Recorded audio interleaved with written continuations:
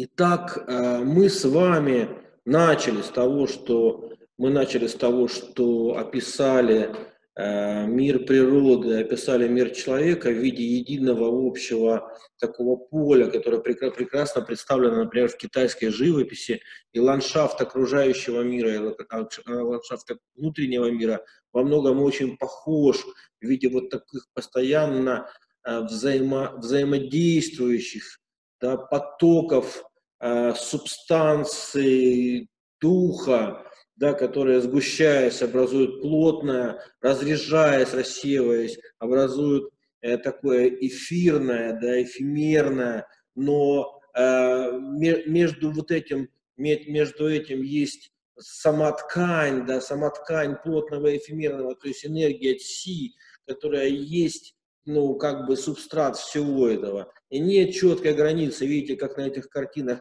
есть туманные отношения, которые перетекают из одного в другое, где вот эти жесткие границы, такие, как можно увидеть в механическом представлении о мире, где э, часто человек описывается как такой сложный механизм инструментов, э, взаимосвязанных с друг другом, сложный механизм, но все-таки механизм и эстетичные инструменты, описанные в анатомии, их взаимодействие, описанное в физиологии, да, скорее в китайской, в даосской традиции человек представлен в виде такого потока взаимопревращающихся э, вот э, полей или, э, не знаю, туманов ци, вот так я назову это поэтически. На самом деле это действительно важно для понимания. Мы говорим, что есть соединенность трех драгоценностей – это небо, земля и человек в окружающем мире, внутри человека это дзин си шен, на которое есть разные состояния единого, единой пневмы, единого, единой си, единой энергии, и они образуют некий внутренний ландшафт, который представлен вот этими самыми внутренними органами, да, они, он представлен нашими костями, как как горами, как основой, да, основой бытия, да, реками э, в виде потоков э, крови, да, лимфы и энергии, да, это все возможные а, природные явления, которые представлены внутренними органами. И также а, развивая эту идею уже в несколько неоконфуцианском стиле. То есть, если мы сравниваем с природой, это даосский подход, неоконфуцианский подход э, э, это попытка соединить устройство государства и природы, единство, гармония государства, то есть образа жизни людей, социума и природы, и также человека как гармонично устроенного мира, страны, да, вот, вот, вот, вот это вот описание, оно превращает наши органы и системы в такой слаженный, единый, еди, единую, что ли, единое, единое поле отношений различных состояний энергии. Мы описывали с вами, да, что есть пять, на самом деле шесть вот органов дзан плотных, да, есть меня шесть органов фу пустых, и они находятся в парном взаимодействии, да, и есть еще шесть необычных органов, которые мы все с вами перечисляли, да, и они находятся в таком вот соглас, согласованности в соответствии с законом этого мира. Этот закон мира – это единая Си, единая Дао, которая представлена двумя большими силами инь-ян, которые в свою очередь порождают тройственность, да, единство в тройственности. Дальше это развивается в процессе пяти элементов, пяти движений, да, усин, дерево, огонь, земля, металл и вода, которые взаимопорождаются и взаимосдерживаются. Вот все это, все это полностью а, звучит в а, жизни нашего организма.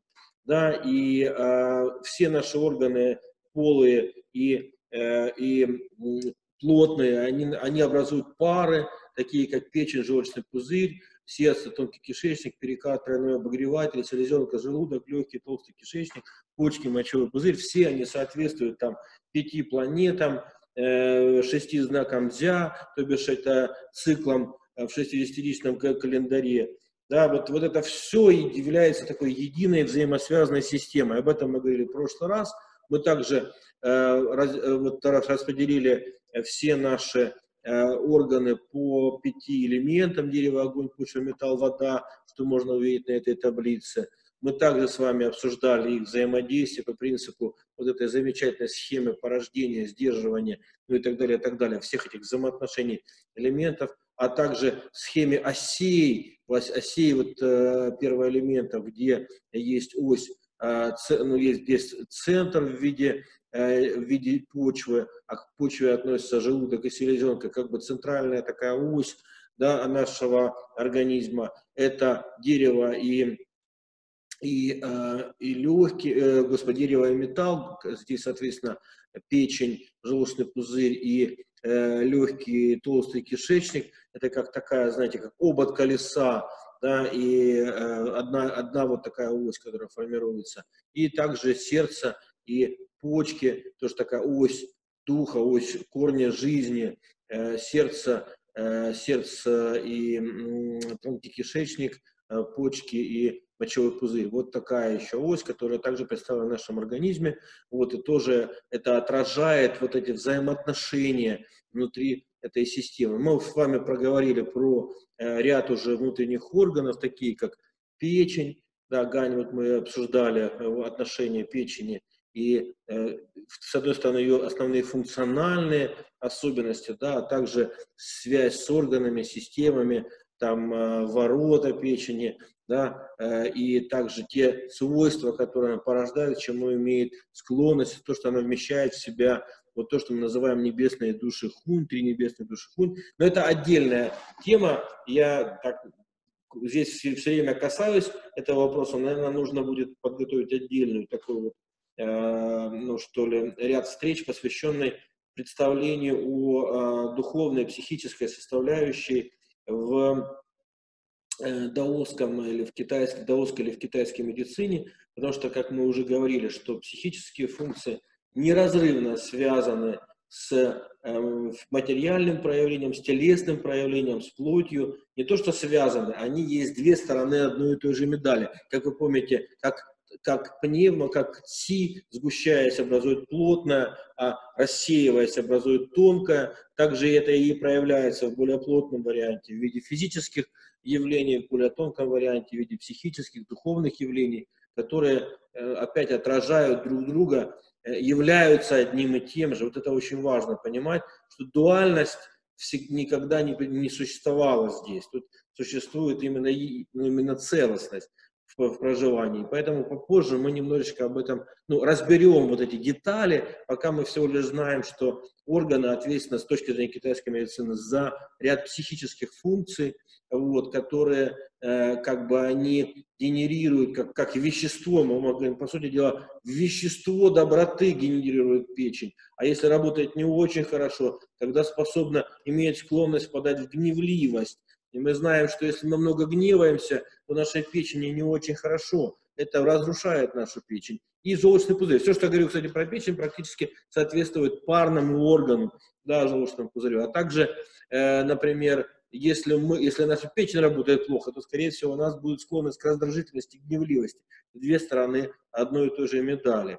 Да? И э, должность печени – это генерал. Ну, парный орган желчный пузырь, помните, мы с вами говорили о том, что э, это, э, эти органы работают как тоже, как инь-ян, взаимодополняя друг друга в выполнении тех или иных функций. Но такое качество желчного пузыря – это решимость да, решительность. Ну и дальше мы говорили о сердце, как о владыке пяти органов, пяти, вернее, всех органов Заны и Фу, да, как, как вот вместилище духа Шень, да, собственно, сознание нашего, то, что и считается, как бы, когда мы говорим сердцем, чувствую сердцем, знаю, то есть вот этой нашей, э, нашей, собственно говоря, личности, да, это то, что и живет в сердце. И э, вот функция сердца, как управление сосудом, также пара его это, э, это тонкий кишечник, которая задача, которая отделяет чисто от мутного, тоже разделяет отделение, выбор, что свое, что не мое. То есть мы на самом деле сейчас знаем, что кишечник может очень сильно влиять на психические функции. Даже многие сейчас называют физиологии кишечник вторым мозгом, потому что там существует огромное количество рецепторов, влияющих на наше психологическое состояние, а также бактериальная флора, которая э, находится в, сапро в сапрофитных отношениях ну, то есть взаимодополняющих отношениях с нашим организмом и тоже за счет выделяемых веществ влияет на наше психологическое состояние. Да? И мы говорили о перикарде, о симбау, то есть это такой вот орган-помощник, который, почему он соединен с сердцем, мы говорим, пять зан органов, пять плотных органов, потому что э, вот этот вот э, перикард, он является помощником сердца, как бы сливается с ним в одно, да, и, э, также говорили о таком странном, но очень важном органе, который западная медицина не выделяет, а вот э, выделяет его восточная медицина как тройной обогреватель, санзяо, который относится к полам, да, и он вот выделяется, у него выделяются три уровня, верхний, средний и нижний, каждый из которых, э, ну, как бы регулирует деятельность других внутренних органов. Это такой регулирующий орган, который позволяет всему работать слаженно, поэтому его называют, что должность у него это поддержание проходимости каналов, связи, соединения и слаженной работы э, вот э, всех органов и систем, находящихся и на верхних, и на среднем, и на нижнем уровне. Вот, ну, я еще раз прохожусь по э, пройденному, потому что важно вот это соединять с тем, что мы будем, о чем мы будем дальше говорить, потому что следующий наш орган относится к стихии Земля, вот, и он является очень важным в, э, в китайской медицине. Мы говорим селезенка, правда, сейчас понимают такую связь селезенки и двенадцатиперстной кишки. Значит, что это за орган? По своей структуре он относится к дзану плотно. Как я уже говорил, элемент его почва. Э, цвет, отражающий этот элемент, желтый цвет. Вкус, который, а, ну, который э, с, к которому склонно, который, который соответствует э, селезенке, это сладкий вкус. Значит, э, максимальная активность у него в час змеи это с 9 до 11 часов. Вот. А что, э, какова основная функция селезенки с точки зрения китайской медицины? Повторяю, во многом китайская медицина здесь может не соответствовать западной медицине, потому, поэтому мы говорим, что орган – это не только орган, как физическое образование с точки зрения западного подхода. Орган – это набор качеств и функций организма в целом, и Э, которому присущи, который ответственен за различные области, ну, скажем, вот этого функционирования целого. Но в первую очередь мы говорим, что селезенка в паре находится с желудком, и их основной функцией является, э, э, является взаимодействие с получаемой из пищи после небесной Ци. Вам уже все эти слова ну, по-хорошему должны быть знакомы. Да, и э, чем, э, что делает селезенка? Значит, она в первую очередь, что она ответственна за усвоение, трансформацию, то есть переработку, сохранение э, и за последующей передачи питательных веществ в организм. Такой вот амбар, да, такое вот хранилище э, питающих нас э, субстанций, которые должны быть Э, усвоены из окружающего мира, из пищи в данном случае, э, в данном случае из пищи, и, соответственно, отправлены потом э, в, в, ну, в область почек, то есть которые принимают энергию, смешивают после рожденную, после, после позднего неба энергию Си с энергией прежнего неба, стараясь восполнять их, особенно когда мы занимаемся той практикой, которой мы занимаемся. Да, то есть, ну, вот это питательных веществ. Ну, автоматически они там не усваиваются, но при правильном подходе можно восстанавливать и э, как бы дзин или ци прежнего неба. Значит, э, что контролирует селезенка? Контролирует кровь. Ну, по понятным причинам, в том числе и в западной медицине, селезенка ответственна за выработку кровяных телец. Значит, управляет селезенка э, мышцами и конечностями. Ну вот люди, у которых Э, достаточно хорошо функционирует вот, э, э, селезенка, или которые имеют, например, в своей карте под много земли, энергии земли, да, они легко очень набирают мышечную массу, но, правда, вообще любую массу быстро набирают. Да, но вот факт в том, что если селезенка работает правильно, хорошо, то это подразумевает, что мышцы, мышцы достаточно хорошо развиты, они, и у них достаточно питания, да, но переразвитие, например, мышц, вот кто сильно увлекается бодибилдингом, почему китайцы категорически, даосы категорически против бодибилдинга, потому что мы знаем, что Земля у нас что преодолевает? Воду, а вода это как раз энергия почек, а почки связаны с изначальной жизненностью, чрезмерное развитие мышц, не соответствующей нашей конституции, может привести к истощению воды, к сдерживанию, к сдерживанию наших изначальной субстанции и, собственно, утрате жизненности. Поэтому мышцы должны быть развиты в соответствии с нашей, с нашим, э, скажем, с нашей конституцией, да, они должны быть э, э, достаточно сильны, но сила их связана не только с самими мышцами, но, как вы знаете, и с сухожилиями. Ну, а потом мы уже говорим и с той энергией, которая их наполняет. И, например, в нашей практике, в нашей практике тай, э, ушу, да, мы используем не только, и вернее, не столько мышечную силу, которая называется ли, да, по-китайски, а сколько мы используем как раз энергию, си. И вот многие движения расслабленные и мягкие, которые потом приходят в выбросы большой силы, связаны уже немножко с другим качеством энергии. Поэтому, но, тем не менее, мышцы все равно должны быть развиты, должны хорошо управляться, они должны хорошо развиваться. И это все связано с селезенкой. Значит, э, открывается в рот, то есть это врата, расцветает в губах, то есть это э, зеркало по губам можно судить о качестве, о состоянии селезенки.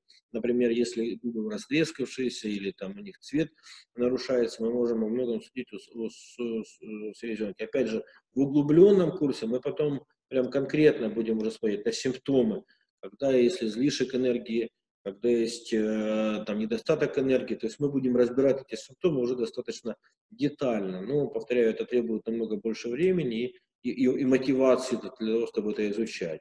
Значит, жидкость мокрота, э, боится сырости селезенка, э, и вот порождает, она такое вещество веры, ну, то есть субстанцию веры. Ну, и так я говорю, вещество или субстанцию. На самом деле качество такое, наша способность, наша способность верить во что-то. Вот. А если же вера, веры недостаточно, то начинает селезенка вот так э, генерить очень э, такое активное размышление. Знаете, когда человек постоянно думает, думает, думает, думает, никак не может с этими мыслями справиться. Тот, кто, кто у кого мало веры, все время, находит, все время вынужден все контролировать, все время размышлять, да, и э, вот это размышление, с одной стороны, это очень важное качество. Кстати, вмести селезенка считается в китайской медицине вместилищем интеллекта, то бишь самого по себе мышления. Да? Э, это что значит? Что способность к обучению во многом в китайской традиции связана именно с селезенкой. Способность к обучению, к размышлению, к разумному э, усвоению материала, да, вот этой разумности, мыслительному процессу. Но если, но если это, э, это свойство не, э, не связано с верой, как ключевым центром, да, видите, Земля – это центр, и вера – это центр, вокруг которого вращаются все остальные добродетели, да, вот эта вера, доверие, да, способность доверять, способность быть э, с кем-то в отношениях всегда подразумевает доверие, доверие, способность быть в отношениях с миром или с Дао все равно подразумевает вариант доверия. Нет, не слепую веру, потому что, помните, во всем есть баланс. Да? Вера все равно подразумевает размышление над объектом тому, зачем я, зачем я следую. Но если нет доверия, то тогда размышления становятся вот таким мучительным, истощающим э, занятием. И считается, что чересчур много раздумий, чересчур много вот мышления разрушает селезенку. Значит, должностное лицо э, вместе с желудком это начальники погребов.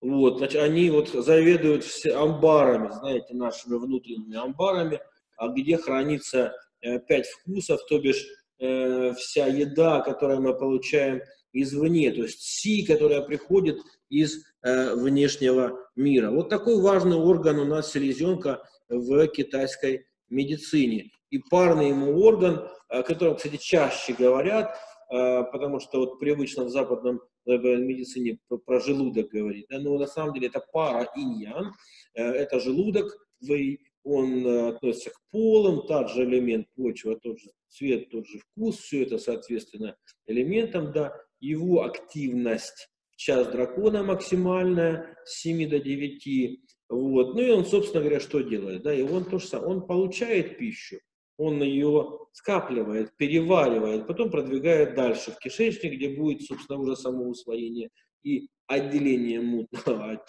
чистого от мутного. Вот. Ну и, собственно, вот они в паре с селезенкой, такие хранители амбаров, вот, э, погребов, очень важный, важный центральная ось нашего, вот, нашего организма. Так, э, идем дальше. Идем дальше к э, премьер-министру организма, к легким. И легкие – это уже металл. Мы движемся по схеме УСИН. Вот здесь распределены органы по схеме УСИН. Это металл, значит, плотный орган ЗАН, э, цвет белый, вкус острый соответствует легким. Да, и э, максимальная активность э, у него в час тигра с 3 до 5. Собственно, с него и начинает считаться как бы поток меридианов. Это, конечно же, цикл не прекращающийся, но вот активность деятельности э, вот меридианной системы начинается с чего? Вдох. Вот мы вдохнули, когда родились, первый вдох сделали, джум, запускается после небесная вот это вот э, поток движения энергии, мы как бы согласуемся с циклами окружающего мира, с этого момента считается и наш, наша ну, как бы такая китайская натальная карта, то есть китайская астрологическая карта, это, которая представлена восьмью иероглифами под зер, мы тоже будем с вами когда-нибудь изучать и, этот, и это направление. Вот, значит, э, и э, что, что, с чем управляют легкие? Что это вот вообще за такая функция? Ну, считается, что вместе с сердцем это самые главные органы, управляющие Си. То есть он в первую очередь легкие направляет движение энергии в нашем теле. Поэтому значение дыхания, практики, связанные с дыханием, да, являются важнейшими. То, как мы дышим, то э, как, как правильно, как, как, мы, как мы не дышим, да, это как, чем мы дышим, когда мы дышим, все имеет очень большое значение с точки зрения э, даосской медицины. Вот. И что делают легкие? Они, э, во-первых, собирают энергию из окружающего мира через дыхание, потом у них функция соединить эту энергию с си, пищей, воды. То есть такое вот э, формируется так называемая совокупная энергия, которая извлекается посредством, опять же, все органы работают совместно. Нельзя сказать, что один орган одним занимается, другой, другой другим они слаженно работают. В данном случае, с одной стороны, легкие работают вместе с сердцем, да, потому что кровь и ТСИ вместе тоже двигаются по организму, а также вместе с селезенкой и желудком, которые извлекают энергию в первую очередь из пищи и питья, а э, легкие из воздуха соединяют это все в единый среднем дантиен, да, соединяют в единую, в единую такую совокупную ЦИ и потом опускают ее вниз, там, где почки будут ее принимать. Поэтому вот эта функция легких – это опускание энергии. Помните, у нас есть восходящие потоки энергии, выпаривание, как вот на картинах китайских, помните, выпаривается туман, идет вверх. И также опускающиеся потоки воды, которые стекают вниз. Да, поэтому металл – это закат, это все, что опускается, все, что понижается, все, что соединяется. И вот, собственно, легкие управляют этим опусканием энергии вниз, для того, чтобы она потом была усвоена сущностью нашей, нашим организмом. Вот, э, значит, э, расцветают э, легкие у нас в коже и волосах на поверхности тела. То есть кожа является тем органом, ну, который, по сути дела, с которым связаны легкие. По коже можно судить о состоянии легких кожа наша тоже как бы дышит, да, открываются поры и закрываются поры, и если хорошо работают легкие, вот этот вот обмен э, как бы э, энергии с окружающего мира через кожу, он тоже происходит очень э, правильно, естественно и уместно. Да, и также э, легкие, они э, во многом еще обладают способностью поддерживать вот это, регули, регулировать нашу ЦИ как внутреннюю, помните, так и защитную внешнюю. СИ, тогда если правильно они работают, то вот эта внешняя СИ, которая защищает нас от инфекций, от внешних воздействий и позволяет нам быть достаточно крепкими и устойчивыми в окружающей среде, она функционирует отлично.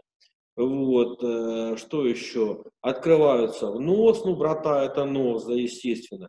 Выделение это жидкость из носа. Что боятся легкие? Ну, понятно всем, что холода боятся. Все эти простудные заболевания часто, мы говорим, простуда, да, это от, от холода происходящее. Вот. А, и даже если у нас есть э, э, агент бактериальный или вирусный, если хороший иммунитет, а это он и представляется во многом этой внешней СИ, то мы способны ему противостоять. А вот холод, он способен снижать активность э, легких и тем самым снижать нашу, нашу, нашу сопротивляемость. Значит, что порождают легкие? Какое, какое качество, какое свойство? Справедливость.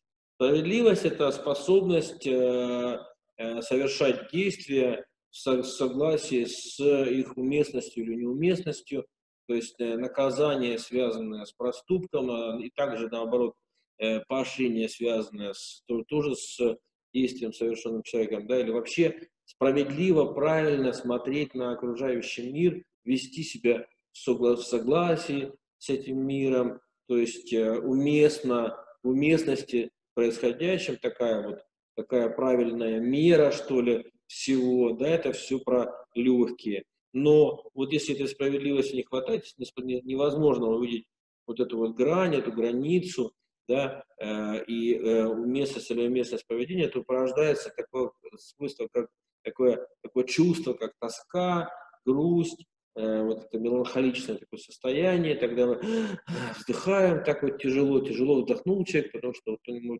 как-то внутри тяжко, вот такая вот грусть, э, тоска. Есть э, отличительная особенность, э, ну, как бы, э, я хочу, сказать, чрезмерная грусть, тоска является отличительной особенностью нарушения работы легких, а вот такая небольшая меланхолия, знаете, здоровая, такая грусть бывает, когда вспоминаешь былое, или смотришь вот осень, когда уходит, и все потихонечку увядает, и вот эта грусть э, приятная, которую тоже можно в поэзии увидеть, да, чего-то уходящего, чего-то завершающегося, она является очень правильным и хорошим качеством. Но когда это перерастает уже такой вот депрессивный взгляд на мир, что будущего уже нет, на самого себя, я никчемный тот человечишка, вот, э, и такое снижение самооценки, отсутствие представления о будущем, это, конечно, уже тогда патологические проявления, и ну, требуют они определенной в этом плане коррекции. В легких вмещается 7, 7 земных душ по. Но опять же, потом мы с вами разберем. То есть их э, в противовес трем э, таким вот эфирным, духовным да, субстан, душам э, хунь есть 7 душ по. Они такие очень связанные с нашим организмом, ну, в даосских представлениях. И они регулируют больше такие физиологические функции, связанные с ощущениями, с какими вот, э, ну, возможно, вегетативными э, функциями организма. И э, считается, когда человек умирает, то они вместе с телом тоже уходят в землю. И вот, э, они вот остаются с телом. А вот лучших хуни, они способны возвращаться в эфирное поле. Вот, си. Э, так что, но в нашем э, организме они соединяются благодаря духу, такое единое поле, где физиологические функции и ну, такие психофизические функции, скажем так, это ощущение, чувствительность, да, так, э, потребности наши, влечения, э, они все очень хорошо интегрированы э, в наши ощущения, в поле нашего сознания, в поле э, вот этой вот нашего шень духа. Вот. И а, вот качественное взаимодействие, это очень, и баланс между ними является очень важным моментом.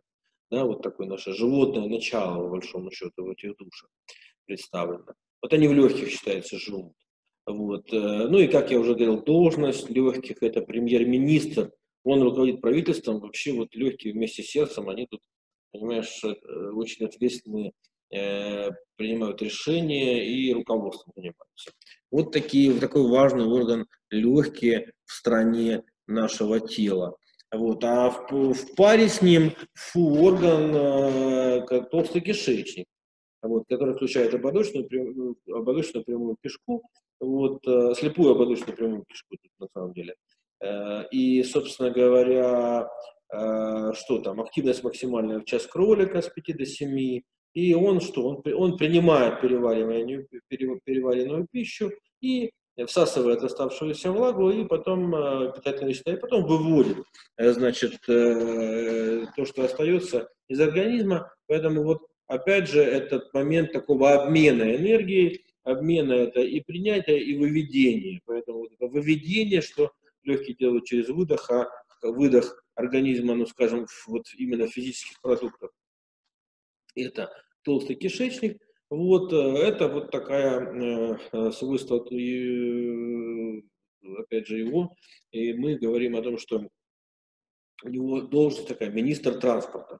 Вот, он, от него происходит смена и трансформация, так указывается в в, китайской, в китайских текстах. То есть он приводит к тому, что постоянно поддерживает движение через выведение, через выведение как бы остатков энергии, того, что уже, ну, вернее, э, вот наша жизнь, понимаете, это постоянный вдох и выдох, постоянное потребление, выделение, принятие и отдача, да, и вот этот момент потока, он связан с двумя функциями обязательными. Вот тут за выделение вам ответственно как раз э, у нас э, толстый кишечник.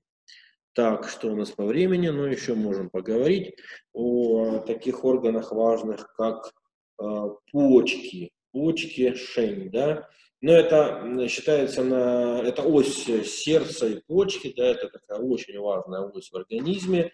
Э, и считается, что почки это одно из самых важных Э, таких вот э, систем в, ну, в человеке. Вы, наверное, тоже поняли, сколько много мы внимания уделяем почкам. Значит, относятся они к элементу вода, поэтому черным цветом вот написано, так цвет у них черный, э, вот, э, вкус у них соленый, э, максимальная активность в час петуха, это 17 до 19, и вот и называют почки корнем жизни, потому что, по сути дела, почки являются основой всех энергий инь-ян в организме. Они формируют этот процесс взаимодействия энергии инь-ян в организме. То есть вот это такой инский полюс, с одной стороны организма, потому что они внизу, и они хранят вот эту субстанцию, изначальную субстанцию цинь, да? а с другой стороны, внутри них уже существует инь-ян. То есть, с одной стороны, э, там, э, левая, правая почка представляют из себя инь-ян, а, и они как бы взаимодействия с друг другом по по позволяют вот и, и по, по, храня, сохранять энергию, в первую очередь изначальную энергию, которая нам дана от родителей прежде Дин прежнего неба, Цит прежнего неба. Вот также они принимают энергию позднего неба, и при правильной практике они могут даже ну, восполнять. То есть через нашу практику мы можем восполнять вот эту вот изначальную нашу дзин, которая расходуется потихонечку, чистейшую дзин, которая расходуется, и когда, собственно, она уже израсходована, тогда человек умирает. И вот этот этап фаза жизни человека, там они у женщин по 7 лет, у мужчин по 8 лет, циклы такие происходят, как раз связаны с вот потихонечку расходом вот этой вот энергии ДИН, поэтому э, субстанции ДИН. И поэтому мы говорим, что восполнять годы жизни и э, поворачивать, ну, останавливать процесс, скажем, старения в первую очередь нужно благодаря восполнению ЦИ э, почек и ДЗИН почек. Да, и вот опять взаимодействие двух этих элементов инь-ян позволяет принимать, сохранять зин и постепенно выпаривать ее в чи, которая начинает подниматься вверх в виде вот этих э, вот, этих вот бирюзовых облаков, как мы говорим, или золото, золотого сияния. Если вы правильно занимаетесь секунд, вы можете почувствовать после занятия такое удивительное ощущение наполненности и такой звенящей чистоты, как будто, как будто человек начинает за, ну, золотым цветом э, светиться. Вот это и есть, когда мы восполняем энергию и начинаем потихонечку выпаривать ее, она начинает напитывать все наши органы системы, и она, э, также почки, считается, что именно почки питают э, в суть головного мозга, и благодаря вот этой субстанции она потихонечку поднимается и начинает питать наш юаньшен, изначальный дух, который пробуждается и потом соединяется с шишен и становится вот этим самым целостным э, духом, да, э, ну, что, что и есть важнейший этап уже даосской алхимии. Вот, э, ну, наверное, про почки можно очень, очень много говорить, да, э, ну, управляют чем, это понятно, жидкостями, да, э, всеми вот, ну, потому что почки, они связаны с жидкостями. Значит, э, также связано с такими частью такого организма, как кости, вот, и состояние костей напрямую связано с состоянием энергии почек. И также костный мозг и головной мозг. Это являются, вот как бы считается, связанными с почками органами. Значит, расцветают в волосах, э, почки открываются в уши, врата почек – это уши. Когда вы просыпаетесь утром, можете заметить, что первое, как, через что вы просыпаетесь, это, это звуки начинаете слышать и дифференцировать. Почки начинают активнее работать и пробуждаться. Значит, что еще? Жидкость – это слюна. Теперь вам понятно, почему мы стучим зубами. Зубы – это, это у нас э, как бы краешки костей, которые выходят наружу, через них мы как будто бы активизируем почки. Мы, мы, мы как бы массажируем почки через стук зубов. А слюна – это жидкость очень важная, которая напитывается через правильное соединение с дыханием. И когда мы глотаем, это тоже способствует усвоению энергии поздней с энергией прежней. Значит, чего боится э, почки? Ну, понятно, сухости. Значит, порождают они такое качество, как э, разумность ну, разумность, ну, я не знаю, как правильно сказать, ну, наверное, да, это разум здравомыслие, да, но кто-то даже переводит слово мудрость, хотя мудрость это очень такое интегральное, на мой взгляд, качество, но э, это вот адекватность, что ли. Опять вот мы сейчас что говорим? Э, не хватает разумности, человек начинает бояться.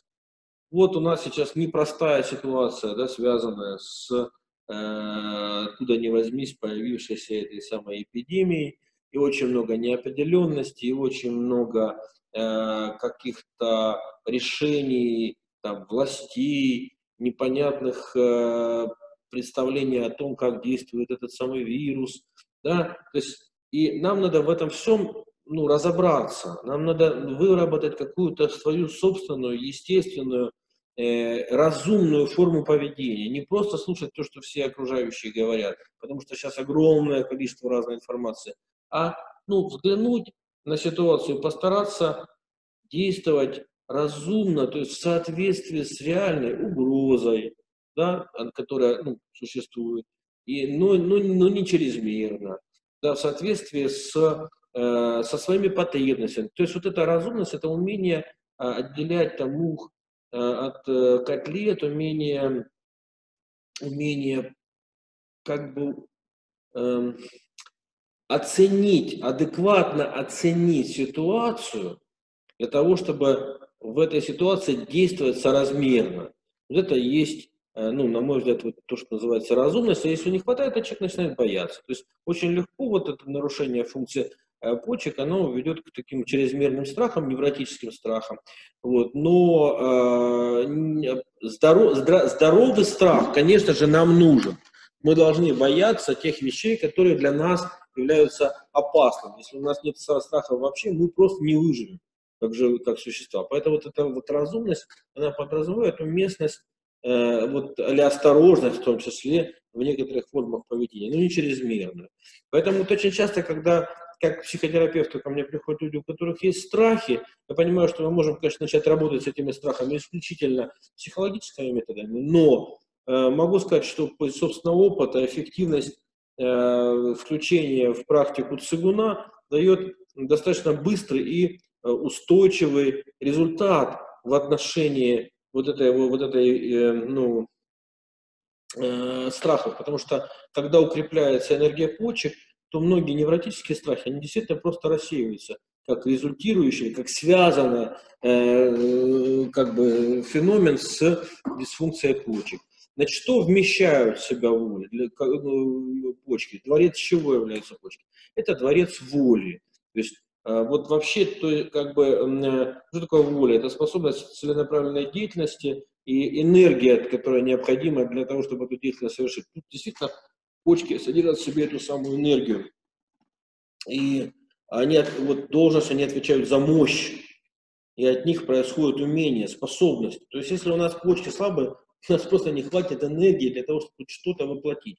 Поэтому любая практика, как вы уже помните, у нас начинается с укрепления почек и выстраивания оси. Это желудок, селезенка. То есть ось выстраивается, укрепляются почки. Через что укрепляются? Через соединенность дыхания и, э, и внимания, да, которое опускается вниз. Через спокойствие, через Э, через специфические формы движений, которые связаны с поясницей. Поясница – дворец почек. Поэтому, когда мы говорим поясница, поясница, поясница, поясница, все это связано во многом с тем, что мы говорим почки, почки, почки, почки. То есть это вот как бы совокупно с нижним дантьеном, но нижний дантьен еще нужно сформировать, нужно еще его ощутить. Ну, это, это место, где происходит трансформация энергии. Ну, мы по дантьенах уже много раз говорили, и еще поговорим в конце вот этой вот самой нашей презентации, ну, или как бы беседы, да, э, которая, видимо, сегодня не закончится. Еще денечек ей потребуется, мне потребуется, чтобы пройтись по меридианам. Так вот, мы всегда говорим о почках. И когда крепкая поясница, когда мы укрепляем почки, многие наши проблемы естественным образом решаются, разрешаются, энергии у нас становится достаточно, когда она выпаривается, наполняет все остальные органы, да, то эти органы могут функционировать хорошо, качественно, и тогда у нас есть субстрат, в том числе воли, для реализации тех наших потребностей, стремлений, идей, которые у нас есть. И дают нам умение, то есть возможность совершить какие-либо действия. Ну и его орган-партнер – это э, мочевой пузырь, э, значит, который активен наибольшим образом в часе обезьяны с 15 до 17. Ну и он как бы, повторяю, помогая во всем, во всем почкам, то есть это такой вот партнер, и вы увидите, какой такой мощный меридиан желчного пузыря. Э, да, он, он, он тоже очень важный, значимый меридиан. Вот, но э, если брать функции, то поддерживает все, что делает почки, а также поправляет хранением и удалением жидкости. Поэтому, собственно, он назначен был в государстве нашим правителем округа, вот, а, а так как от него происходит хранение жидкости, и они потом выделяются, и в том числе э, через трансформацию, через трансформацию энергии. Вот э, такие органы основные, через, по которым мы сейчас с вами прошли, которые мы с вами которое мы с вами так совокупно посмотрели. Это наш ландшафт, сейчас я покажу, вот это наш ландшафт э, местности, вот такой вот занфу-органы. Все они работают в паре, в, в, в, слаженно, есть пары этих органов, и, но помимо пары этих органов существует взаимодействие каждого из этих органов друг с другом. Но, повторяю, мы это оставляем на более углубленный такой вот курс, потому что это очень-очень много информации. Информации, в принципе, вполне, вполне себе усваиваемой, но требующей время.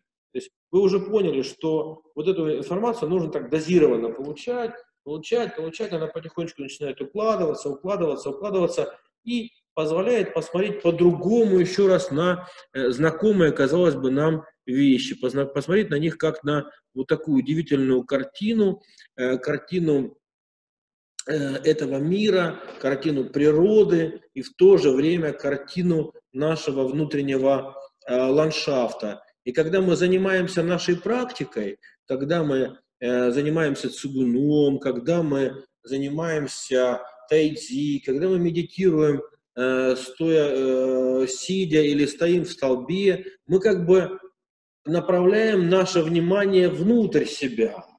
Мы направляем наше внимание внутрь себя, э, либо находимся и вне, и вовне, и внутри, как это, например, во время тайцзи делается. То есть мы наблюдаем и внешнее, и внутреннее согласованно.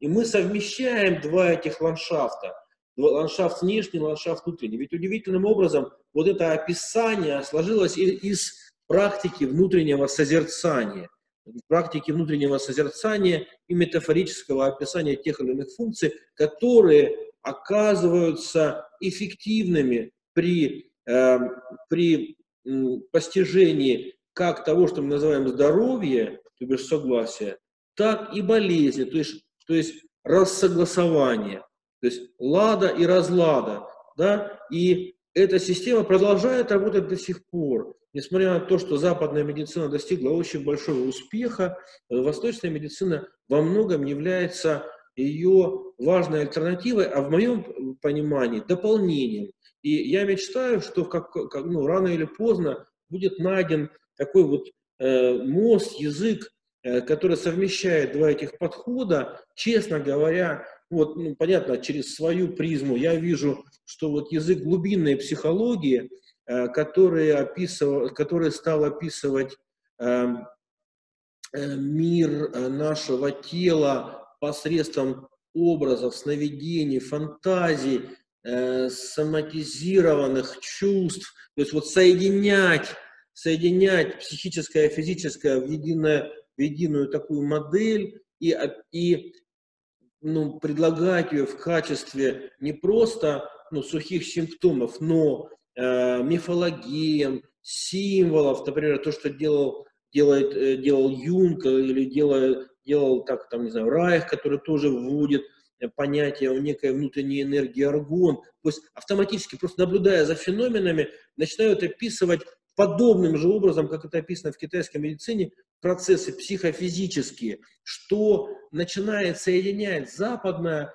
представление э, о устройстве организма как чего-то такого механического, да, с во многом восточном представлении организма как чего-то очень, э, э, ну, я бы сказал, э, более, более тонкого, более взаимосогласованного, более целостного да, недвойственного. Поэтому мне кажется, э, во всяком случае, это одна из версий, что вот с одной стороны, может быть, психологический э, подход позволит э, соединить два этих, два этих эм, два этих полюса понимания человека. С другой стороны, современная наука, физика, да, в, в первую очередь, которая изучает природу вещей в этом мире, позволит вот как бы согласовать с, с, или позволяет уже сейчас согласовывать современнейшие открытия в области устройства э, природы с теми образами, которыми это было описано